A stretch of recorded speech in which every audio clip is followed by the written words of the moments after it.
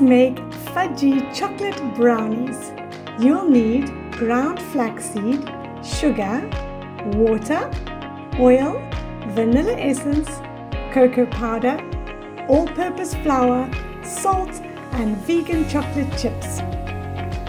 Preheat the oven to 175 degrees.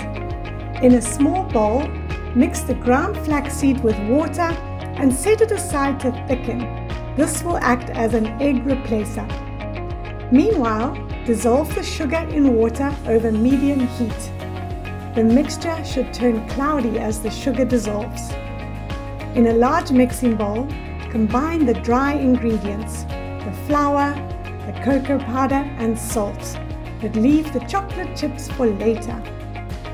Pour the sugar water mixture over the dry ingredients, stirring until it's all nice and chocolatey. Add the oil, vanilla essence and the thickened flax mixture.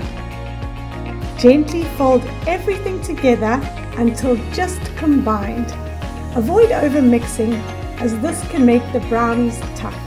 Line a baking pan with parchment paper and pour the batter in. Spread it out evenly and then sprinkle vegan chocolate chips on top for extra gooiness.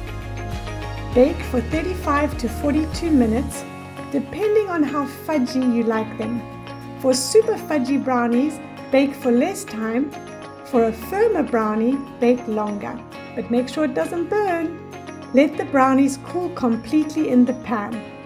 Then lift them out using the parchment paper, slice into squares, and enjoy. Remember, the longer you let them cool, the cleaner the cuts will be. Enjoy your delicious fudgy chocolate brownies. These are perfect for any chocolate lover. And don't forget to like, subscribe and share if you enjoyed this recipe. Happy vegan baking!